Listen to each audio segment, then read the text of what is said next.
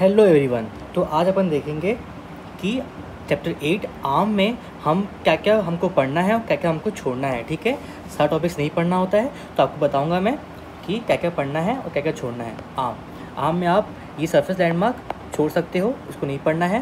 Compartment of आम में आते हैं तो इसमें आपको नहीं पढ़ना है कंपार्टमेंट में नहीं पूछता है, ठीक है? इसकी जो कंपार्टमेंट वाला डायग्राम मत पढ़ना, ठीक है? अब आते हैं मसल्स में कौन सा मसल्स इंपॉर्टेंट है? तो बाइसेप ब्रेकाई इंपॉर्टेंट है, ये आपके मसल्स में आ जाता है, ठीक है? इसका ओरिजिन पढ़ लेना, इसका इंसर्शन पढ़ लेना न सप्लाई क्या होता है एक्शन क्या होता है क्लिनिकल टेस्टिंग कैसे कर सकते हैं अपन, ठीक है? इस पर डायग्राम ये वाला बनाना डायग्राम बनाना, ठीक है?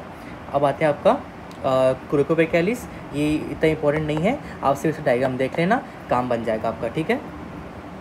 अब आते हैं बेकैलिस नहीं आता ठीक है?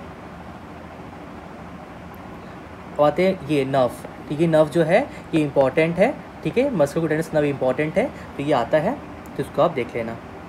ये रहा। कोर्स क्या है? डिस्ट्रीब्यूशन क्या है? तो इसको आप देख लेना, ये डायग्राम देख लेना कैसे होता है, और इसको आपको बनाना पड़ेगा एग्ज़ाम में, ठीक है?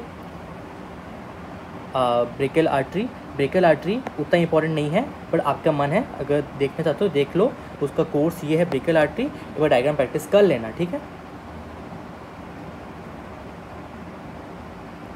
ये तो इंपॉर्टेंट नहीं है उसको मत पढ़ना ठीक है?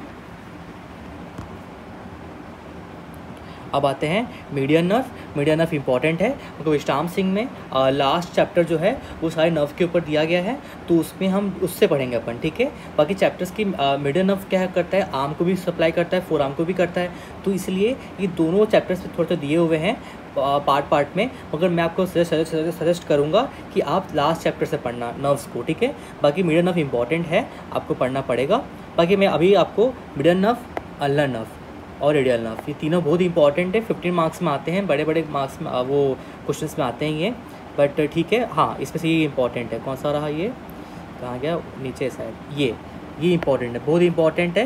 ये फिफ्टीन मार्क्स में भी आ सकता है और ये फाइव मार्क्स में भी आ सकता है, ठीक है? तो ये इंपॉर्टेंट है, इसको पढ़ना है आपको। इसमें आपको ये डायग्राम बनाना है, ये वाला डायग्राम बनाना है, ठीक है? इसमें क्या है आपका? कंटेंट है। और ये ये आपका क्या बोलते हैं? ये डायग्राम बनाना है, ये डायग्राम बनाना है आपको, ठीक है? और ये बनाना है, ठीक है? कि रूफ में क्या स्ट्रक्चर मिलता है। सेम डायग्राम रहेगा जो आप मिडल के वाटर वेव में बनाए थे, ठीक है? और बाकी थ्योरी आप नहीं पढ़ोगे तो भी चलेगा, क्योंकि जो डायग्राम में दिया गया है, उसी को इन्होंने थ्योरी में लिखा हुआ है, ठीक है? आपको डायग्राम याद है, आपको सब कुछ याद है। आप क्लिनिकल पढ़ लेना इसका। क्लिनिकल हर टॉपिक्स का जो भी मैं बता रहा हूँ उसका क्लिनिकल पढ़ना ही है, ठीक है? अब आते ट्राइसेप ब्रेक है, इसको पढ़ना है। ट्राइसेप ब्रेक आई पढ़ना है। इस पर यह डायग्राम बनाना, ठीक है? अब आते हैं आपका प्रोफंडा ब्रेकाई आर्टरी इसको नहीं पढ़ना है, ठीक है? ठीक है चैप्टर खत्म हो गया। अब हम आते हैं फोर आर्म चैप्टर में आते हैं। फोर आर्म में क्या क्या क्या पढ़ना होता है? फोर आर्म में आप सीधा आओगे, ये सब नहीं पढ़ना है, नहीं पढ़ना है, ये हाँ ठीक है? फ्लैशर रेटिकुलम में आओगे। ये इंपॉर्टेंट है, ये फाइव मार्क्स में आता है, ठीक है? फ्लैशर रेटिकुलम इसमें आप ये डायग्राम बनाओगे। कौन सा, कहाँ? ये, ठीक है? ये डायग्राम बनाओगे आप, ठीक है? अब आते हैं आपका फ्रंट में आते हैं। फ्रंट ऑफ़ फोर आर्म में आते हैं। इसमें क्या क्या पढ़ना है आपको? कौन सा मसल्स पढ़ना पड़ेगा? देखते हैं अपन रुकिए इस पर आपको नहीं पढ़ना है, ठीक है? आपको ये सब नहीं पढ़ना है। ये नहीं पढ़ना है, ठीक है? हाँ लेकिन आपको ये याद होना चाहिए कि सुपरफिशियल मसल्स कौन कौन होते हैं? ये अलग से क्वेश्चन आता है कि फोर आर्म का फ्रंट में सुपरफिशियल मसल और डीप मसल कौन कौन होता है? तो आपको नाम याद होने चाहिए कि pronator teres flexor carpi radialis palmaris longus flexor digitorum superficialis और फ्लेशर कार्पाई अल्नारिस, ये सब होते हैं आपके, ठीक है? तो ये आप याद रखना बट एक एक मसल के बारे में पढ़ना, वो नहीं पढ़ना है आपको, ये भी नहीं पढ़ना है। ये भी नहीं पढ़ना है। ये भी नहीं पढ़ना है। आप अपने बुक में टिक कर सकते हो, जो मैं टिक कर रहा हूँ, ठीक है? ये भी नहीं पढ़ना है।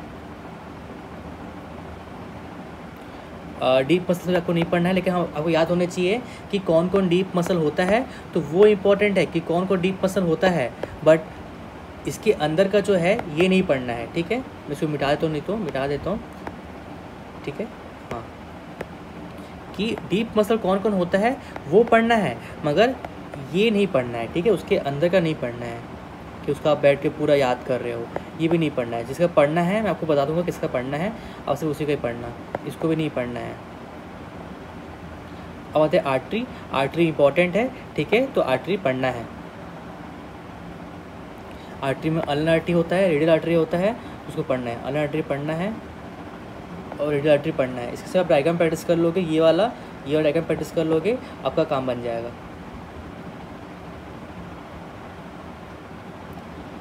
Nerve in the front of forearm वही बात है। अब मीडियन नर्व इसमें भी आता है है ना? मीडियन नर्व देखो ये है।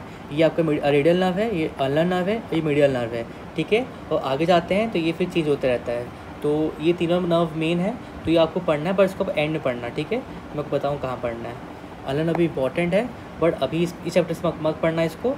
रेडियल नर्व भी इंपॉर्टेंट है बट इसको अपन लास्ट में पढ़ेंगे, ठीक है?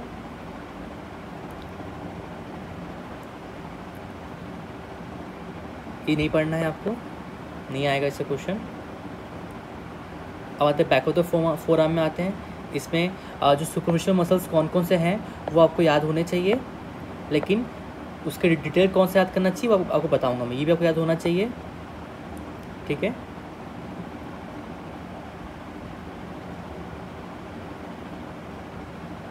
बाकी इसको इस, इसको नहीं पढ़ना है। ठीक है? बिल्कुल याद की ज़रूरत नहीं है। इसको भी नहीं पढ़ना है। ठीक है? आगे बढ़ो। हाँ ये ये इंपॉर्टेंट है, ठीक है? इसको पढ़ना है। फ्लेक्शर रेटिकुलम और एक्सटेंशन रेटिनाकुलम ये दोनों दोनों को पढ़ना है। इस डायग्राम कौन सा बनाओगे आप? ई डायग्राम बनाओगे आप, ठीक है? ई डायग्राम बनाओगे, उसके कंपार्टमेंट क्या होता है? फ़ंक्शंस क्या होते हैं? ठीक है? ये पढ़ना है आपको। ये आपको नहीं पढ़ना है।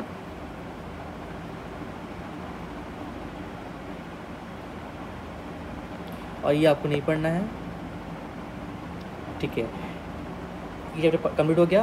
अब आते हैं एल्बो जॉइंट एल्बो जॉइंट कोई बोलता है इंपॉर्टेंट है, कोई बोलता है इंपॉर्टेंट नहीं है। ये कभी कभी बहुत कम आया है है ना? तो मैं बोलूँगा कि आप इसको एक बार वन रीड दे देना। ठीक है? एल्बो जॉइंट को।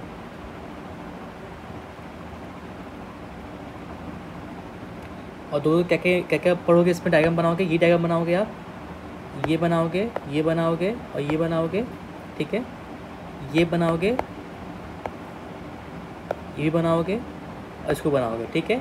इसमें आपका पूरा आंसर कंप्लीट हो जाएगा। फिर उसके बाद हाँ ये तो ये तो बनाना है ही। ठीक है? ठीक है। हाँ ये इम्पोर्टेंट है। ये पाँच मार्क्स में आता है, ठीक है? कैरिंग एंगल इसमें आप ईयर डायग्राम बना सकते हो और इसके बारे में कुछ लिख कुछ लिख लिख लेना, ठीक है? और क्या क्या है इसमें? से कैरिंग एंगल हो गया। बस कैरिंग एंगल ही पढ़ना है ना? ये नहीं पढ़ना, ये नहीं आएगा, ठीक है? ये भी नहीं आएगा, ठीक है? ये भी नहीं पढ़ना है। इसको भी नहीं पढ़ना है। ये भी नहीं पढ़ना है। इसको पढ़ना है, ठीक है? सुपिनेशन और प्रोनेशन क्या होता है? वो पूछता है, ठीक है? तो आपको ये बनाना है, ठीक है? ये सुपिनेशन ये प्रोनेशन होता है, ये मसल्स काम आते हैं इसमें और ये मसल्स काम आते हैं, ये आपको याद होने चाहिए। तो ये ये पूछता है पाँच मार्क्स में, ठीक है? ठीक है। अब आते हैं लास्ट हैंड चैप्टर में आते हैं, इसको अपन नेक्स्ट वीडियो में देखेंगे।